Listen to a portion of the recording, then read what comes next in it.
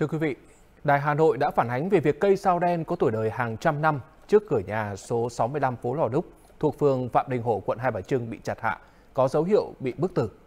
Chủ tịch Ủy ban nhân dân thành phố đã giao công an thành phố chủ trì phối hợp Sở Xây dựng, các cơ quan liên quan kiểm tra làm rõ thông tin theo phản ánh báo chí nêu, xử lý nghiêm vi phạm nếu có theo quy định của pháp luật.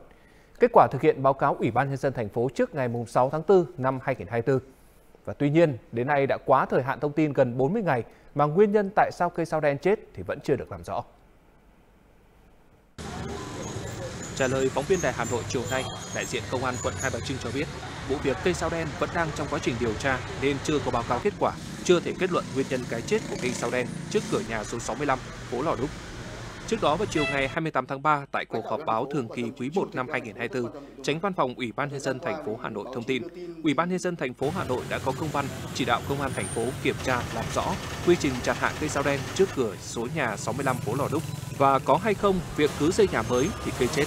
Sao đen nằm ở nhóm 3 trong danh sách gỗ quý của Việt Nam. Cây được bắt đầu trồng trên phố Lò Đúc từ những năm 1905, 1910 Hiện trên phố này có 134 cây, trong đó có khoảng 50 cây trên 100 năm tuổi.